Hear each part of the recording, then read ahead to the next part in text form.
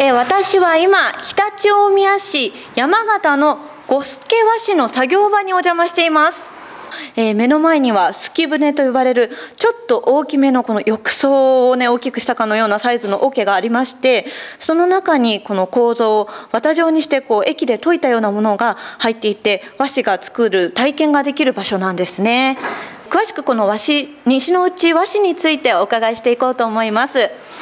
お話は、えー、明治中頃から続く五助和紙四代目菊池博さんです。よろしくお願いします、はい、よろしくお願いします。はいあのね西の内和紙五助和紙さんもこの国県指定無形文化財というところですけどもまああの奥久慈のあたりでは、まあ、昔からこの西の内和紙っていうのは作られてたんですかね？はい、えー、鎌倉時代の頃から作られているって言われてます。早速ですねこの作業場にお邪魔しているということで、あの体験などをねさせていただきたいなと思うんですがじゃあ菊池さんあの体験させていただいてもいいでしょうか？はい、今ですねこの木枠の巣と巣と桁で。す透けたと呼ばれるねこの枠に入れてますけども手前から作って、は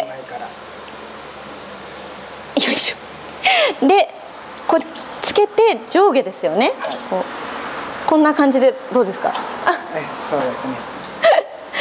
で少なくなったらもう一回すくうと。ちょっと手伝ってもらってもいいですか？であ横にこう振る感じなんですね。なるほど。どうですか？こう色はだんだん。だんだんいいと思います、はい。後ろにちょっと透けるくらいなんですねこのすのこの部分が、あ出来上がりました。いやこれ一回じゃなかなかできないですよね。でちょうどこの上の枠を外してですのこだけの状態にして取ってこれも綺麗にこう剥がれないんですよねこうすのこの。覆いかぶせるような感じで、はい。うん、あの置いちゃうと、はい、空気が入って、はい、あの本当に袋だらけのこう紙になっちゃう。へえなっちゃいますなるほど。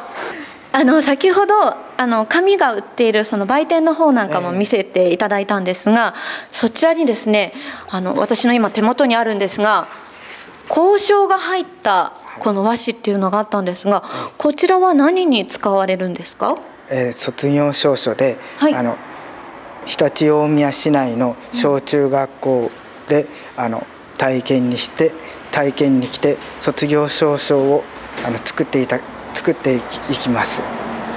なるほど。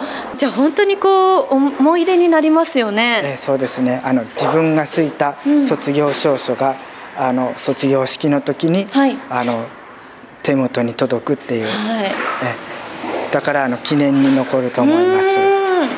いやすごく素敵な取り組みですね、はいなんかあのこう来た方にどういったことを伝えたいとかってありますか？こう、えー、まだあの全国でもあの西の内紙ってこう知らない方が結構いますんで、うん、その方にこう多く知ってもらったりとか、うん、あの西の内紙はこう結構あの全国から見ても、はい、あの日本一っていう言われる、はい、あの構造を使って、うん、あのすいてますので、はい、その良さとかえそれをあのもっと知っていただければ。はいそうですね。あのこういった体験はどなたでもできるわけですよね。え、あの前もってあの予約していただければ、はい、えいつでもできます。